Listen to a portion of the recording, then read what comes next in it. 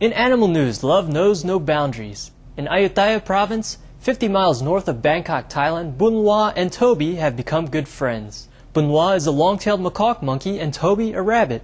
Three years ago, Bunhwa made his way to a temple with severe injuries. He was taken care of and then given a new home with his fluffy pal, Toby.